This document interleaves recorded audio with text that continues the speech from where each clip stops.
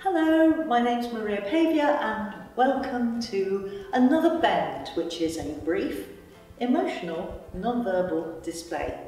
And what we're going to do today is to look at how you can really improve that feeling of self-acceptance and self-love because you are worthy of love and acceptance just like everybody else. So you should feel it and when you're not feeling it, what can you do to help yourself to feel it a little more? So this is what we're going to do. And we're going to do it in, you guessed it, two minutes. So what you need to do is to stand nice and upright, because it's always a good starting point. Nice and upright, lifting your chest to the sky as though you are worshipping the sun.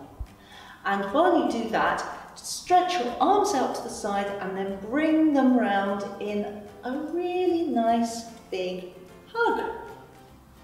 So just give yourself a little massage back there as well while you're doing this. Breathe in.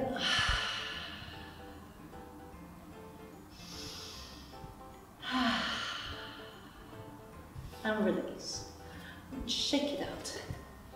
And now we're going to do it again, but with the other arm on top. So now we're going to do it like this. And again, it's a little massage in the back. Breathe in. Breathe out.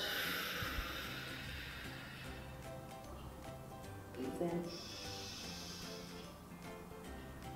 And release. And while we do that, we can just remind ourselves when we're doing this lovely hug that even though I'm feeling a little bit worthless today, I accept myself anyway. Even though I'm feeling a little bit worthless today, I accept myself anyway. That feels better.